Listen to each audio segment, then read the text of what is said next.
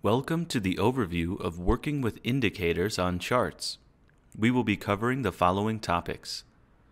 Using the indicators window, adding an indicator, editing indicator parameters, and removing an indicator.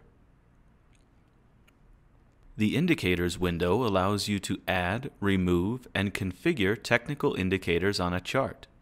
The layout of the Indicators window is much the same as the Data Series window.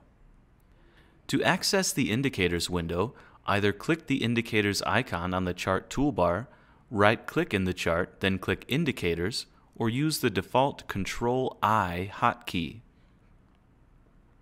The Indicators window is divided into three sections the Available section, the Configured section, and the Properties section. The Available section lists all pre-built and custom indicators available for use on the chart. The Configured section lists all indicators that are currently configured on the chart. The Properties section lists parameters related to a selected indicator. To add an indicator to a chart, first locate and select it in the Available section, then either double-click it or click Add. For a description of any indicator listed in the Available section, first select it, then click the small eye icon near the top right corner of that section.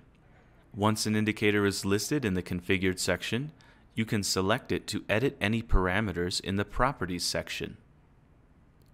Changing indicator properties works much the same way as changing data series properties in the data series window, with one notable exception. All indicators will have common properties available to configure, such as auto scale, maximum bars look back, and input series.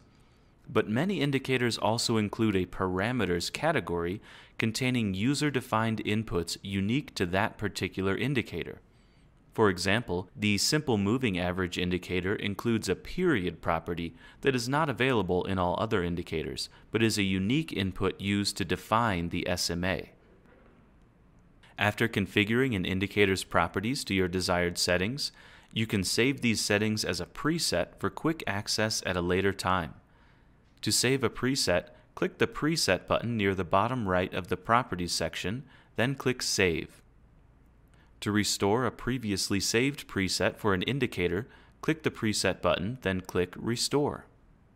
To remove an indicator from a chart using the Indicators window, first select the indicator in the Configured section, then click Remove. Alternatively, you can select an indicator on the chart itself, then simply press the Delete key on your keyboard. Thank you for viewing the overview of working with indicators on charts.